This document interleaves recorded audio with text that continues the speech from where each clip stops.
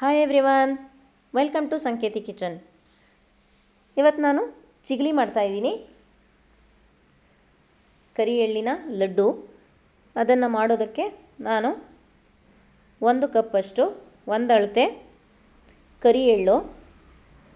ಅದಕ್ಕೆ ಕಾಲು ಅಳತೆ, ಬೆಲ್ಲದ ಪುಡಿ, ಎರಡು ಟೇಬಲ್ ಚಮಚದಷ್ಟು ಕೊಬ್ಬರಿ ತುರಿ. ಮೊದಲಿಗೆ ನಾವು ಬಾಣಲೆನಲ್ಲಿ ನಾನು ಕರಿ ಎಳ್ಳನ್ನು ಹುರ್ಕೊಳ್ತಾ ಇದ್ದೀನಿ. ಅದು ಚೆನ್ನಾಗಿ ಚಟಪಟ ಅಂತ ಹುರಿಬೇಕು. ಹುರಿಬೇಕಾದ್ರೆ ಎಳ್ಳು ತುಂಬಾ ಚೆನ್ನಾಗಿರುತ್ತೆ, ಘಮ ಘಮ ಅಂತ ಇರುತ್ತೆ. ಅದರ ಪರಿಮಳ ತುಂಬ ಚೆನ್ನಾಗಿರುತ್ತೆ.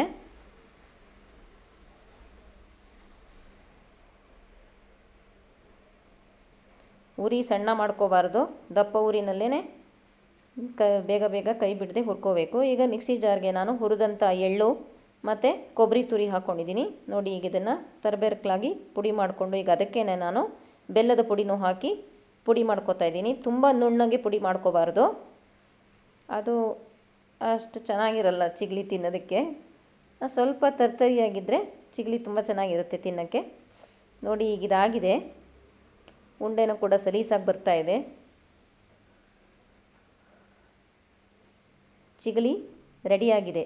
ನಿಮಗೆ ನನ್ನ ರೆಸಿಪಿ ಇಷ್ಟ ಆದಲ್ಲಿ ನನ್ನ ಚಾನಲ್ಗೆ ಸಬ್ಸ್ಕ್ರೈಬ್ ಮಾಡಿ. ಮತ್ತೆ ಮುಂದಿನ ವಿಡಿಯೋಯಲ್ಲಿ ಭೇಟಿಯಾಗೋಣ. ಧನ್ಯವಾದ.